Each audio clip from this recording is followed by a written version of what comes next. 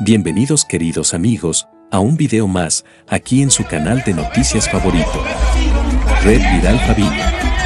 Último minuto el mundo deportivo y el espectáculo lamentan Tirebel muerte, una bala perdida le quitó la vida. Pero antes de continuar con este video, quiero invitarte a que te suscribas a este canal, actives la campanita de notificaciones y a que me apoyes con un gran like. Triste noticia en el fútbol de Paraguay. Vita Aranda, esposa del jugador del Olimpia Iván Torres, falleció hace unas horas debido a un tiroteo en un concierto. Según medios guaraníes, el Ministerio de Salud de aquel país confirmó el deceso de Cristina Vita Aranda, una de las víctimas del tiroteo registrado esta noche en el Festival Jaumina en el Anfiteatro José Asunción Flores de San Bernardino. La doctora Yolanda González, directora del Hospital Nacional de Itauguá, fue la que informó del descenso de la madre de los tres hijos del futbolista.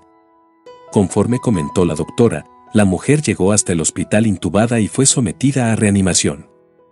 Finalmente, falleció debido a pérdida de masa encefálica. Hizo paro, pero se le reanimó por al menos 25 minutos. Después de la larga reanimación, murió, dijo González a ABCTV. La joven fue víctima del tiroteo acudió con el mismo Iván Torres al concierto Jaumina Fest. Ahí, recibió varios disparos, el jugador del Olimpia salió ileso, pero sufrió una crisis nerviosa por lo sucedido.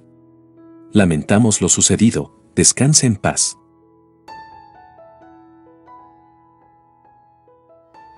Hemos llegado al final de este video. Tu opinión es muy importante para nosotros. Te invitamos a que comentes. Suscríbete en el botón que ves en pantalla y haz clic en la campana gris para que estés notificado de las mejores noticias. Nos vemos en un próximo video.